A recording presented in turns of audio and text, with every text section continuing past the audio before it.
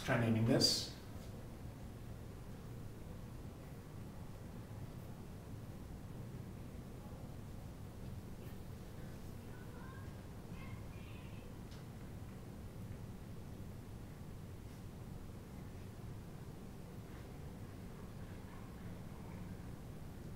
Um, Methylacetamide?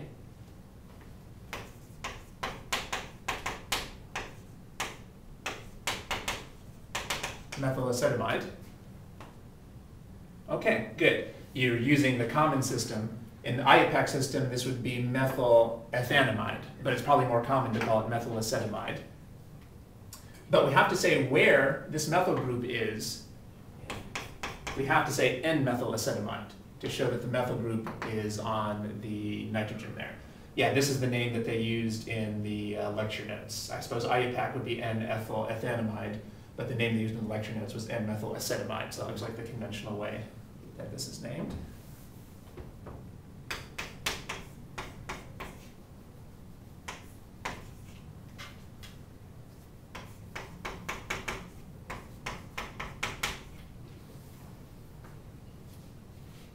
This one's a little trickier, a little bit different. Let's start by naming the main chain here. What would be the name of the main, the main chain?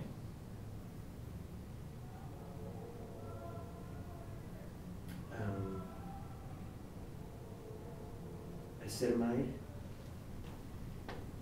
How many carbons are in the main chain? I'm sorry, uh, uh, for, forma, formide, formamide. Formamide, that's right. There's actually only one carbon, just the carbonyl carbon on the main chain, so that would be formamide. N-dimethyl? Say again? Is it N-dimethyl? Excellent. You almost got it. So you got the dimethyl. So we continue just treating these like substituents. But you know that if there's two substituents, you use the prefix di, and the locator is n. You've only left one thing out, which is something people oftentimes forget. If you have two substituents, you have to give the location for both of the substituents.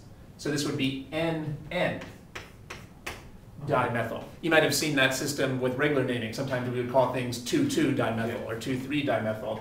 It's hard for people to remember that they need two locators and the prefix di. We need both of these to indicate that there's two of these. Of course, you'll see that in the, in the answer choices if this is multiple choice. This would be NN-dimethylformamide. The IUPAC name would be methanamide, but that's not what they used in the lecture notes. It's more common to use formamide. NN-dimethylformamide, good.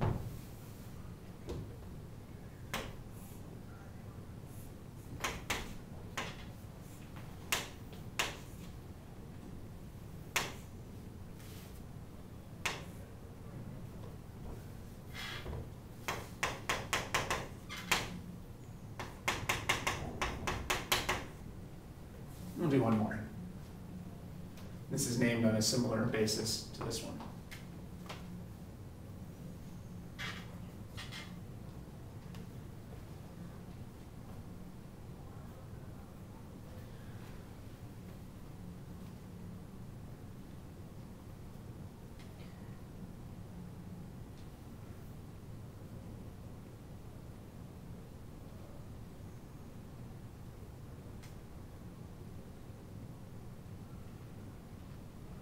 Um,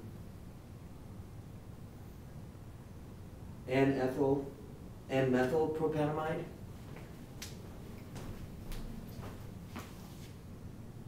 I haven't written it down yet, but that's what, It sound- sounded right. Could you, could you say that again?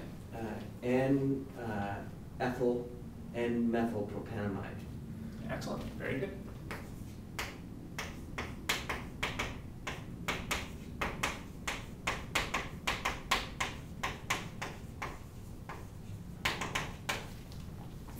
Right. This is all one word.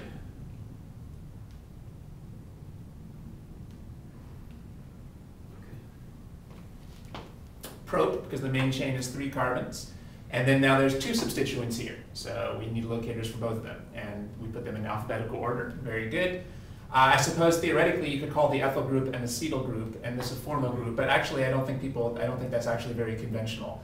We've been seeing that we, we've been using the common roots for the main chain, but we don't use the common roots as much for these substituents. So I think this would be the, the name that people would usually use. That- that's good. Okay, so there's actually a lot of ins and outs for amides because there could be substituents of the nitrogen here, but now we've seen how to deal with that.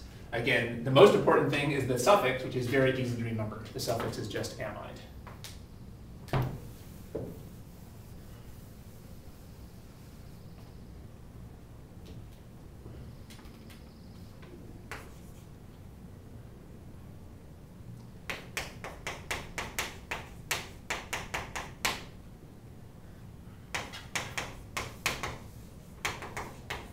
Let's draw the structure of this molecule. N-cyclohexyl acetamide. Let's try drawing that structure.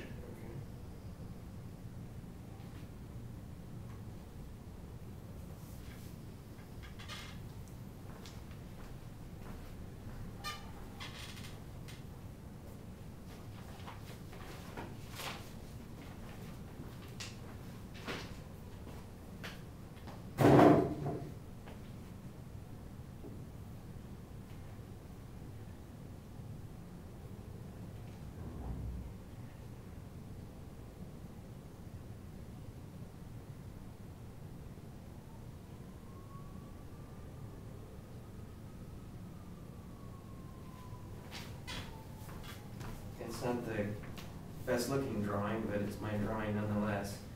Mm-hmm.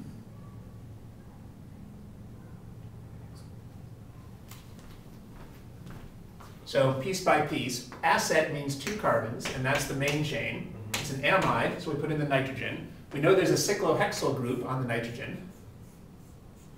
Now you'd want to make it, well, this is just multiple choice, I guess it doesn't matter, but uh, if it weren't, you'd want to make it clear that there's no extra carbons here. So you'd want to draw a straight line here. Um, otherwise, it might, there's looks like, might look like there's an extra carbon here. So this carbon here is directly connected to the nitrogen. Uh, now here's something else that you would see uh, on the multiple choice test. Do you remember how many bonds does a neutral nitrogen usually have? How many? Three. Which means this isn't right unless we put in an extra hydrogen. I think you might have left out that hydrogen there. That's a mistake I make a lot when I'm putting things on the board. I don't put the right number of hydrogens on the nitrogens.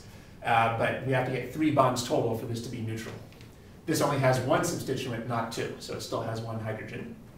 I think this is the only big mistake you make, except for leaving out the hydrogen. I think you got this uh, exactly right. N-cyclohexyl acetamide.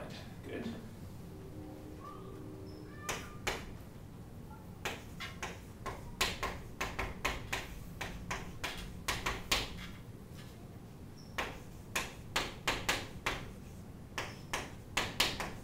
One methylpropyl methanoate.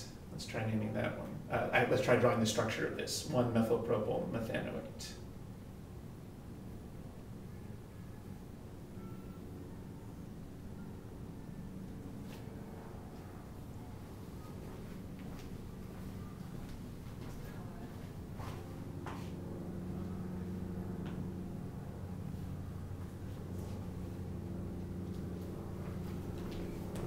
And this is all one word.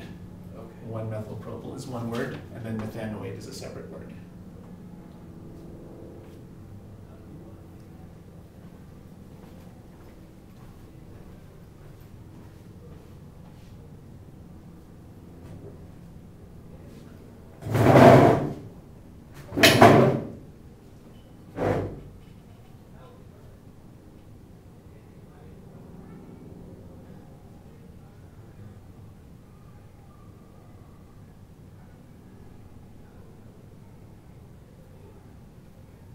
That's a good start.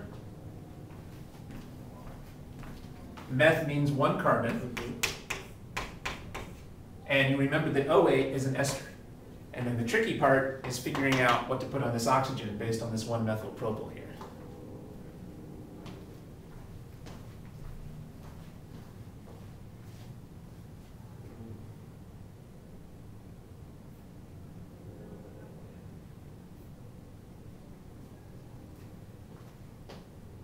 You didn't seem too happy about that, but you figured it out. That's right. You worked it out. Good. You did work it out. So first of all, suppose they had just said propyl. Well, if they just said propyl,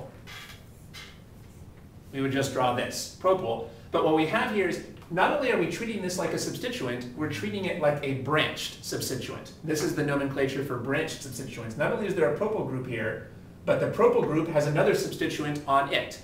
Where is the methyl group? On the number one carbon. You figured out that we would start the numbering on the substituent closest to the oxygen. So this is the number one what I was carbon over here. Ah, that's right. Well, you, you're, you made the right guess there. Um, this is the number one carbon in the main chain, but this is the number one carbon in the substituent. So this would be one methyl propyl, a propyl group with a methyl substituent on it at the number one position. So you work that out.